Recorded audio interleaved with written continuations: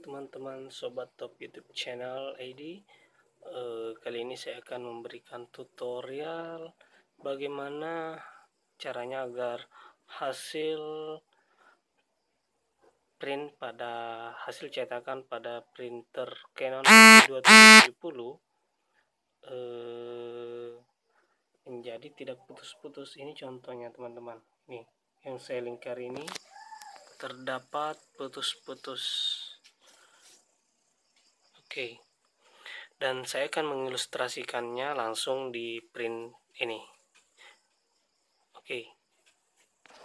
Ya, berhubung printnya sudah sangat seksi eh, karena sudah dibongkar casingnya. Ini ini adalah penampakan isi di dalam dari eh, Canon IP2770. Sekarang kita isi kertas selanjutnya kita melakukan print pada printer ini. Langsung oke okay saja. Namun teman-teman silahkan subscribe top youtube channel ID ya.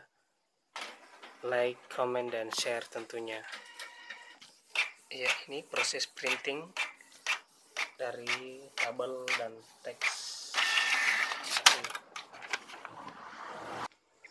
Hasilnya beginilah teman-teman ya ini ada garis putus seperti ini.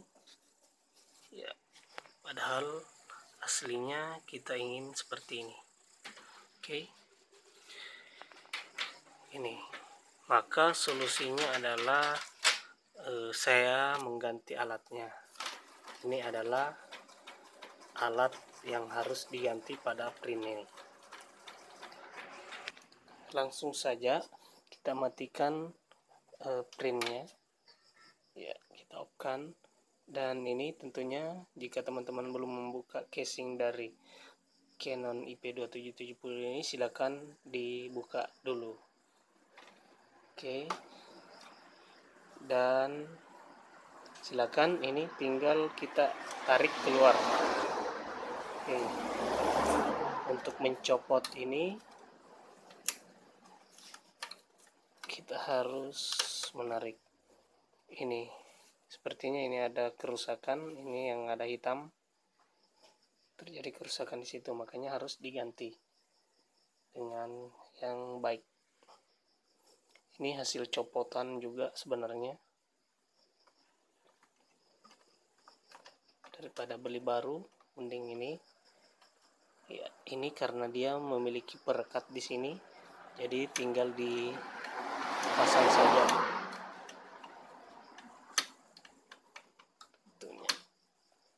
Kenapa terjadi kerusakan? Karena ini kita bisa lihat di sini yang hitam-hitam ini pinggiran di sini adalah e, pembaca di sini. Dia meng, untuk mencetak dia membaca titik-titik yang ada di dalam sini. Oke, sehingga dia hasilnya seperti ini. Jadi ketika pas yang rusak ini dia akan seperti ini karena dia lompat dari e, garis ini. Oke. Mungkin teman-teman eh, paham maksud saya. Jika tidak paham silakan berkomentar di bawah. Intinya kerusakan tersebut adalah karena kerusakan alat ini. Sekarang kita langsung mengujinya teman-teman. Dengan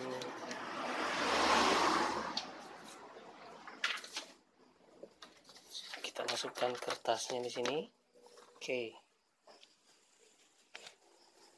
Kita akan melakukan print. Langsung saja oke. Okay. Ya, jangan lupa nyalakan printnya. Ya.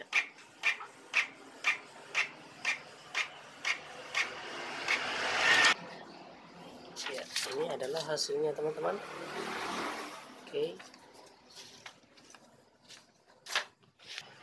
ini ketika sebelum diganti dan ini setelah dilakukan penggantian.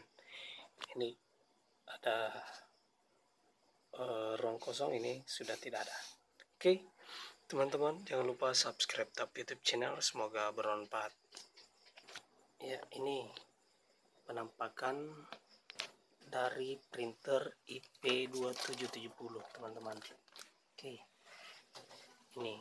Jadi ini sudah dibongkar karena tadi sebelumnya memang sudah saya bongkar. Oke thank you semuanya